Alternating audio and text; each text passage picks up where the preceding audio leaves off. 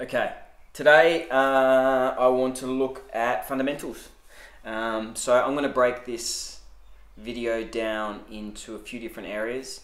Uh, first, we'll look at my camera systems. I sort of have a range of things that I work with, and I think it's really important, at least from my perspective, that you understand that uh, that no matter what format you're working with, um, if you can find something in that format that you really um, are excited by or, or, or, really like, that you sort of go hunting for that, and, and, and that's part of photography.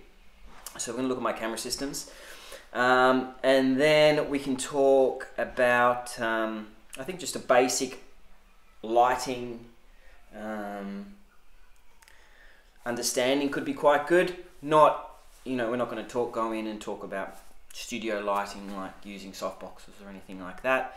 Um, that's all part of it definitely, but when I mean fundamentals, especially for lighting, it's more about um, situational awareness.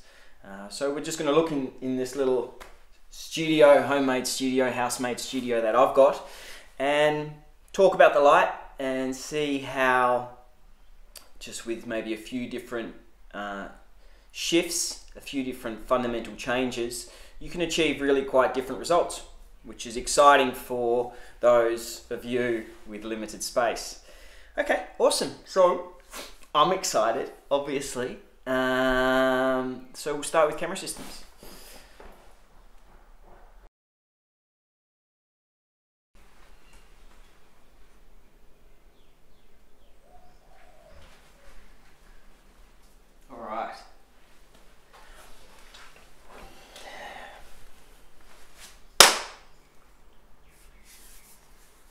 Fundamentals, camera system.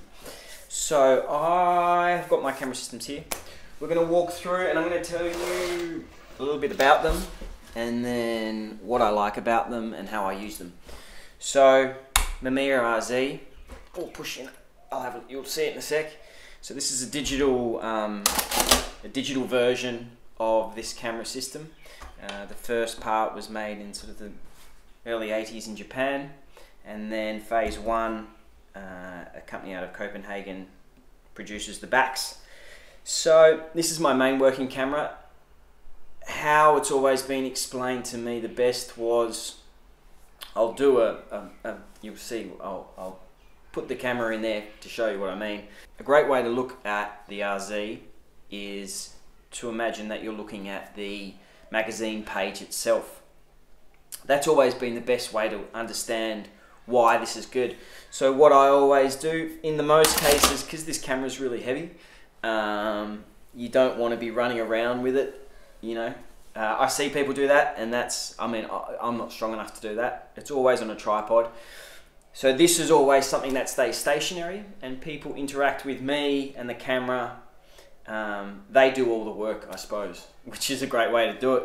Um, I'm going to show you the viewfinder here. I can just do it on my phone and um, pop it in. But it's a really beautiful format in that um, we're doing, so as you can sort of see there, see me on screen. So it is very much, uh, I'll leave this running. Is that going to work? No. How am I going to do this? I need another C stand. there you know.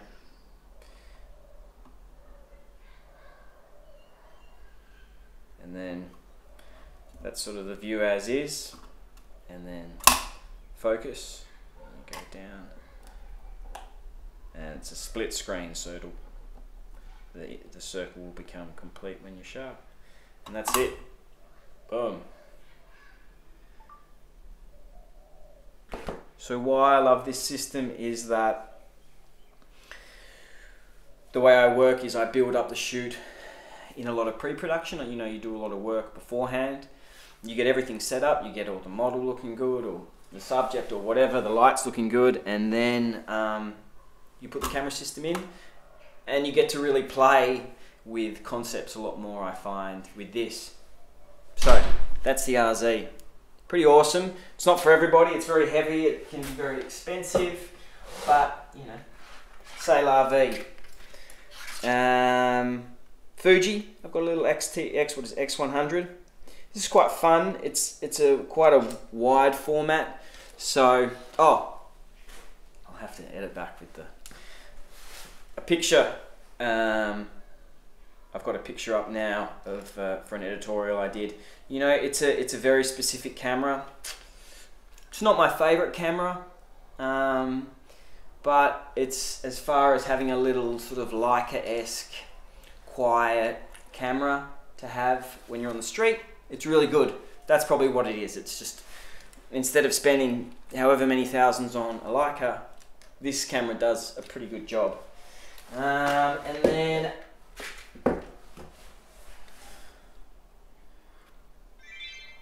I also really love um, Nikon S33s.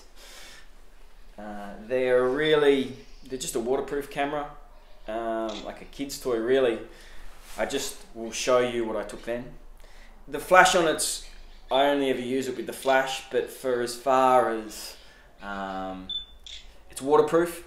So also I'll throw up on the screen, this is a shot I did for W, uh, for V Magazine uh, last, last year and Daphne was squirting the camera, and I wouldn't get my other cameras wet, so this was a great option. And with the flash, it does have that level of contrast that across all my formats, I keep a certain amount of contrast through the images. Um, and with flash with this, I'm able to get that, and you're able to, you know, you're able to you're able to do things that you couldn't ordinarily do with a normal camera. This is kind of the workhorse, I suppose, for a lot of commercial fashion clients, um, or just images that need a lot of movement. Um, this is the Nikon D810. There's a D850 out now. They're all kind of the same stuff. I think as far as DSLRs, um, they're as much. I mean, they're awesome at the high ISOs, which is really good for me. They become quite filmic, you know. So you could shoot something at, I think it's 16,000 ISO. Um, and then if you work on the light or the narrative, it, it, it's it's another look, I suppose, which is which is really awesome. Um, but this camera really is for me. The shot up I've got up is um, I did this for my book on Far Rockaways, and it was a thunderstorm, and you got to get the shot, you know, um, and this is where this camera is so perfect. You put it onto autofocus you just spray and pray, you know, and and that's how some shots you get, and and that's the that's kind of I suppose the, the the main point about all these camera systems is that um, if you use them correctly, you'll get something great. You know, it's not about having the most expensive thing. It's not about you know. Most of the stuff is just gimmicks. It's what you can extract from those moments, how you use the technology. I mean, I'm a digital photographer. I'm not, I've never shot film. Um, so for me, this type of stuff is really interesting. Um, and then also, you know, you can go into a whole new world of with filters, you know, low con filters, pro mist filters, all these things that develop the narrative. Um, and yeah, we can talk, we'll talk about that after actually. We can talk about that quickly. Um, so next is just lighting. We're going to look at some lighting. Um, so lighting. Lighting is a long conversation. Um, a basic idea of lighting is you're never going to cheat yourself. So whatever you like, whatever your aesthetic is, you will always be drawn to something like that. So you'll always do the lighting a certain way. How I think would be a good way to think about lighting is, I mean, for me, it's a continual, um, a continual experimentation with with with smaller details, I suppose. You know, um, how I want to explain it today is more. There's global lighting and local lighting. So for the, for the situation right now, uh, you'll see on these two photos, I've got blacks each side which brings in the contrast around my jaw and underneath my chin. There's a small white bounce um, underneath my chin, underneath my eyeline really, it's just to give a bit of a lift. I'll show. That's with the white.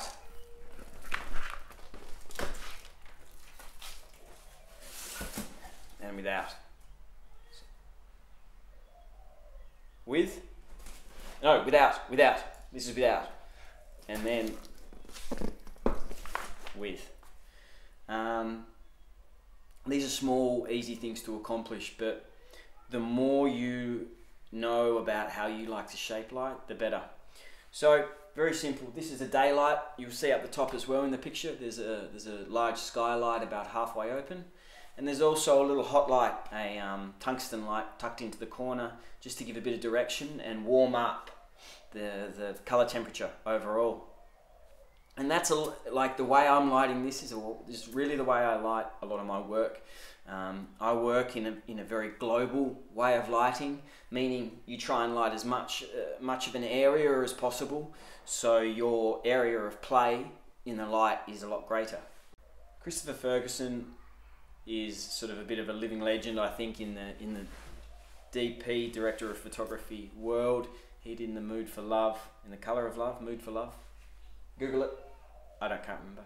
Um, but if you want to see sort of interesting light and, and what you can do in situations that may be a bit more common with your with what you're you know the area of play that you're trying to do whether it's a bedroom or a you know whatever you're trying to light look at his work i heard one story i mean there's a lot of stories going around about a lot of things but he um, he was quite known for being very irrational and hard to work with because of his creativity. You know, he would.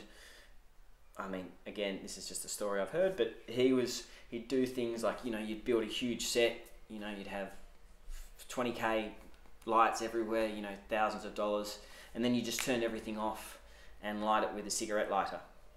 To that extent, the point is that if you're, I think if you're willing to destroy the lighting that you think might be the right choice, I think if you're ready to, if you can understand how to change it dramatically or, or do something like that, I think there's, there's a, that's where the sweet spot is for me.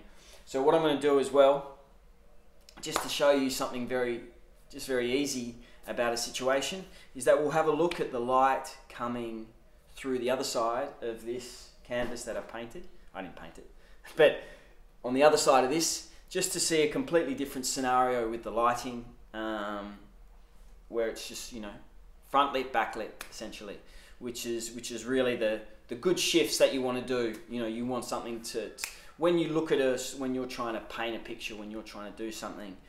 If you can, um, if you can give yourself more visual stimulation, you know, if you can, if you've got more things to react to, I think that helps the creative process dramatically. In that, you know, and people react to things, and if you can keep that moving, anyway, let's have a look at the other side. All right, so this is the other side of life, the other side of the uh, thing. So it's quite beautiful, you know. I think the other side is really pretty as well. But just to just to sort of see that, you know, if you've got a nice curtain, you know, the difference between shooting someone outside in the hard sun, going inside, and then seeing them backlit is things that you should be constantly thinking of. Now, as we talk, or as I talk, I'm going to try and add a little bit of light in just so we have something a bit more, um, a bit easier to work with.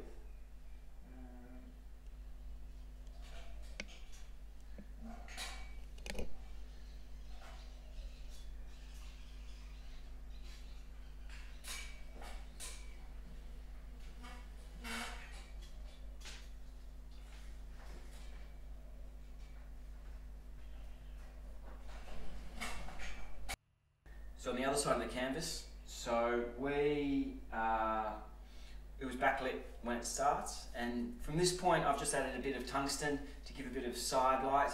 Um, there's just that tungsten light that you saw previously, pointed up into the ceiling there just to give a bit of 45 degree tungsten light.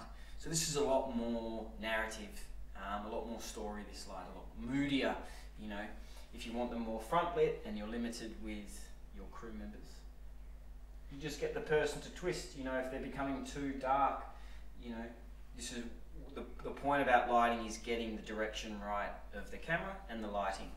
So you're in this situation just to see a, a different thing. And if it becomes too dark, you just face the person into the light. You can bring the camera around here, see them a bit more front lit. Um, you know, then if the background doesn't look right, you twist the background and that's the shot, you know. It's, it's really about workshopping through your own mind what you like, being drawn to what you like. And if you don't like something, it's not going to, I think it will rarely change um, if you don't change the light first. You can get the model or talent bouncing about or the still life or whatever you're shooting to, to try and work within this bad light and it just, it, I don't think you will ever get what you really want. So the point is really to focus first when you set up the camera, first when you're looking at a situation, just look at the light and, and like I say, be drawn to, you know, definitely go with your gut on this thing because you, like I said, you can't really cheat your own personal aesthetic. So it's really about focusing on seeing things you like, and if you don't like something, you try and change it or you try and get rid of it. That's it. Hi guys, so that's it. That's the that's that's sort of a basic look at photography um, from my perspective. Uh, with regards to camera systems, it's really going out there and what the system that you have, um, trying to find what is the successful, what you, how you best how you extract the best things out of that camera system and try and repeat that and repeat that and, and, and make that sort of a fluent thing with your visual language. And then you can move on to other aspects like lighting and, and, and location and makeup or whatever, you know what I mean? Um, and then with regards to lighting, it would be about seeing the situation two different ways. I believe firmly that any location or studio, any any situation with photography, the biggest strength that you have is trying to see something completely different from where you've been. Digital photography is free. I mean, if you're shooting film out there, it's only another roll, it's only another picture. But don't sell yourself short with time to to not try something out of your comfort zone. Um, as that's important as well. You'd be surprised how many successful images come from pure mistakes. Um, yeah, that's it. So I'm going to be putting some more stuff on, some more videos on SES Worldwide, the YouTube channel, as well as it'll be on your Instagram, school's Instagram feed. Um, yeah, check it out. Um, I'll be doing another video after this on uh, what to do when there's nothing to do. Which is now. Cool. Go out there and keep clicking.